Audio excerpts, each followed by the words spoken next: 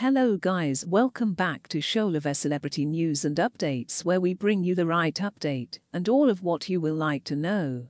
If you are new here or if at all you are just passing by for the first time, please take some minutes of your time to subscribe, like, comment and hit the notification button so that you will not miss in any of my uploads worldwide pop. Symbol Taylor Swift opened up approximately her fight with Kim Kardashian and Kanye West and how it influenced her career in an ingenuous discussion with Time magazine, which named her 2023's Individual of the Year.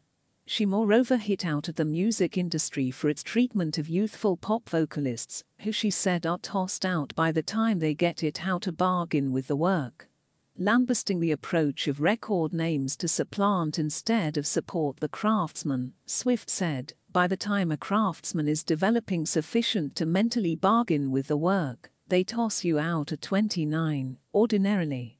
In the 90s and 00s, it appears just like the music industry fair said. Okay, let's take a bunch of young people, toss them into a fire, and observe what happens. By the time they've amassed sufficient shrewdness to do their work successfully, we'll discover new youngsters, she said. I figured it out each record label was effectively working to undertake to supplant me.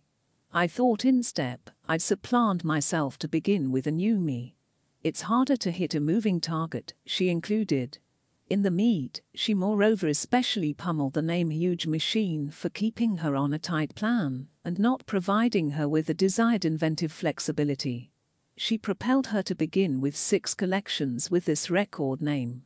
Every imaginative choice I needed to create was second guessed, she said. I was truly overthinking these collections. Taylor Swift too described how the fight with Kim Kardashian and Kanye West took her down mentally.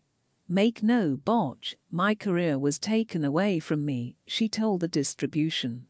You have a completely fabricated outline work in a wrongfully recorded phone call, which Kim Kardashian altered and after that put out to say to everybody that I was a liar.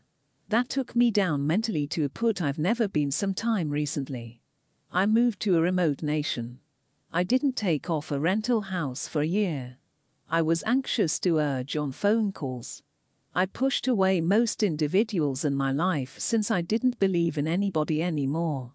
I went down truly, truly difficult, she said. The strife between the specialists dates back to 2016 when Kanye discharged the top tune famous highlighting the verses, I made that bitch popular. Alluding to a past spat between the two them have had.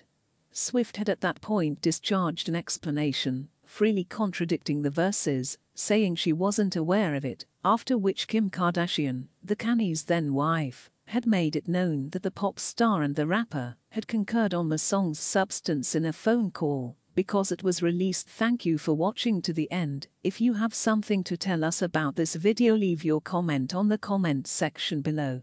Your comments matters a lot.